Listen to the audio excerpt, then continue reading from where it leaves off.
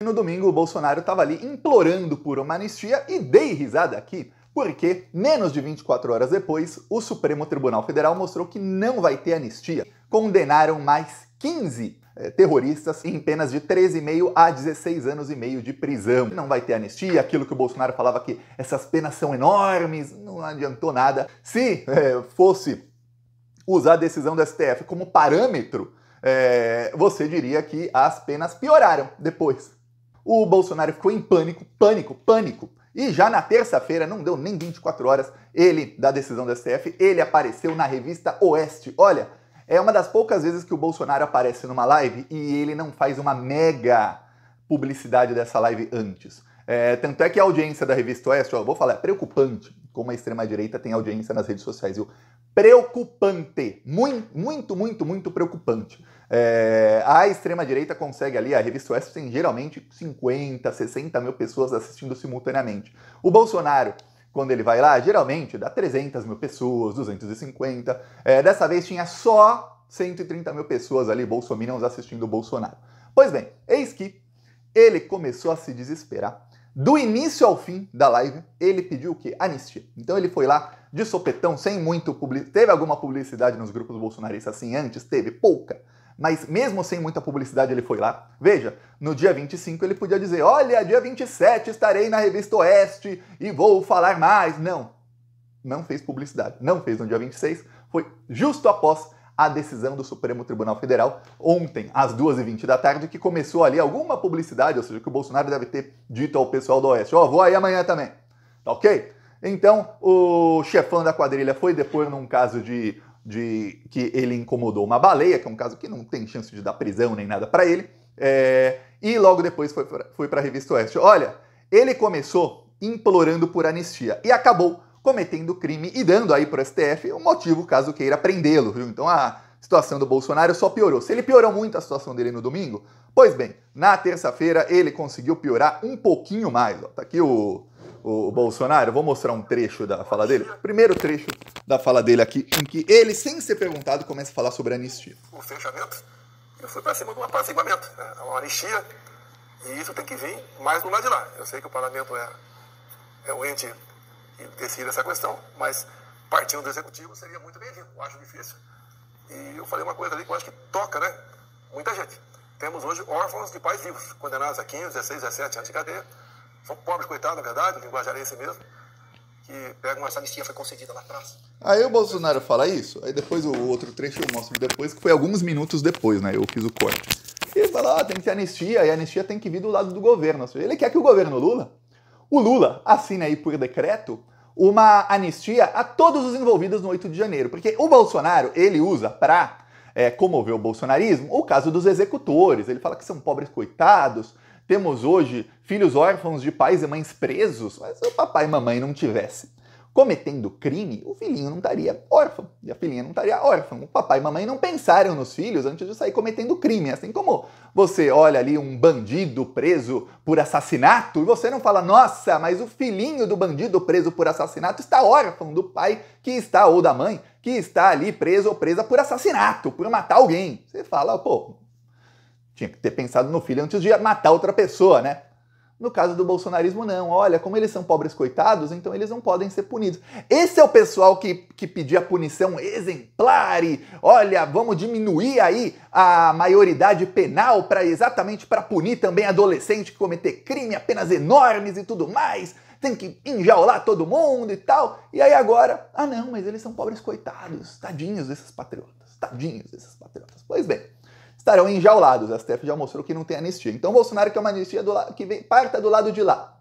E aí ele foi lá com a bandeira branca no domingo, porém o Malafaia meio que estragou o plano. E o próprio Bolsonaro, na sua fala, meio que estragou o plano. O plano não daria certo de jeito nenhum, viu? Essa análise de antes, de durante, no domingo era a mesma análise, e de depois. Não só análise de quase todos os analistas, exceto os muito bolsominions que tem aí na imprensa, mas também dos que têm aí fontes diretas de ministros do Supremo Tribunal Federal dizendo que os ministros dizem isso. Pois bem, não mudou nada a situação dele, só piorou porque a Polícia Federal anexou a fala dele ao inquérito e ainda avisou que o Malafaia será aí oficialmente anexado ao inquérito. Então a situação do Bolsonaro piorou. Só que era entrevista casada. Então o entrevistador do Oeste tentou aí usar um exemplo para para ver se consegue chegar essa mensagem ao PT e comover o presidente Luiz Inácio Lula da Silva, os ministros do STF ou os conselheiros desses. Já já eu vou te mostrar aqui o trecho do, do entrevistador dizendo que, olha, na ditadura teve anistia, e aí isso é que apaziguou o Brasil, viu? Foi ter anistia. Agora, ó, isso pode ser que isso pode ser que funcione novamente. Eu vou te mostrar aqui a fala. Vou deixar a fala um pouquinho mais rápida. Hum, essa anistia foi concedida lá atrás o Brasil experimentou décadas de uma democracia cada vez mais crescente. Ou seja, houve um acerto. Por mais que as pessoas possam questionar o que foi anistia, o resultado foi que o país foi pacificado. Tivemos, obviamente, todos os embates políticos que são próprios da democracia, problemas econômicos que foram resolvidos também com muita discussão.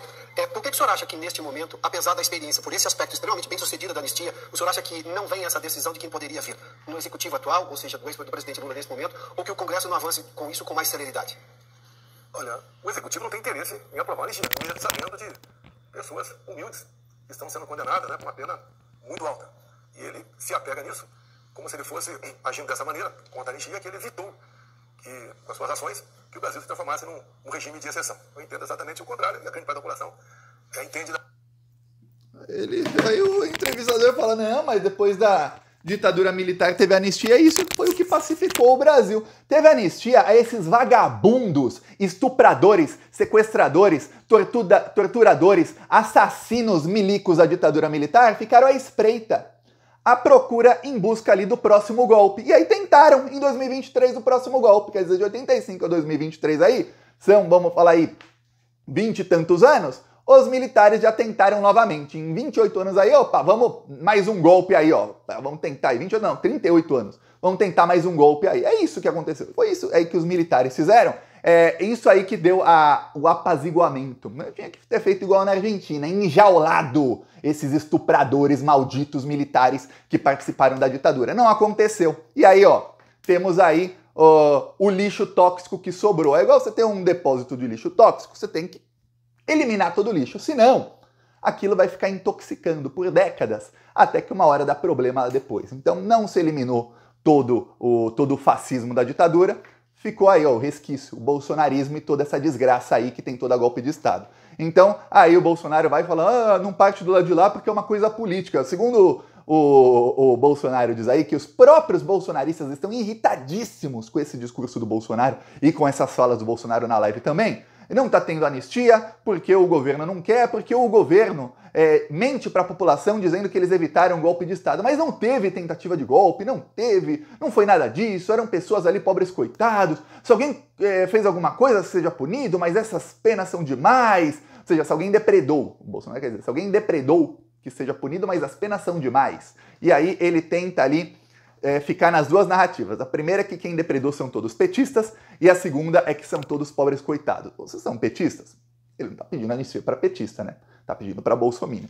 Então ele tenta transitar entre uma narrativa e outra, só que está falhando para os próprios bolsominions, porque cada vez que ele repete que não tem toda golpe, os bolsominions, se você tivesse uma câmera na cara de cada bolsominion, sai até uma veia aqui de tanta raiva que eles ficam assim, putz, esse cara não tem toda golpe.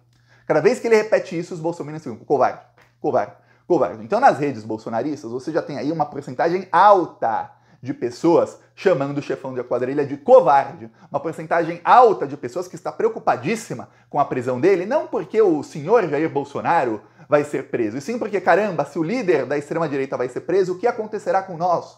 Conosco? Com, com, conosco, nós seremos os próximos. Eles acham que é uma ditadura e que eles serão presos em seguida, logo depois do Bolsonaro é, inclusive gente que não foi lá no dia 8 de janeiro, gente que só fica nos grupos de WhatsApp compartilhando lá as mentiras e sendo manipulado pelo bolsonarismo, acha que eles serão presos também.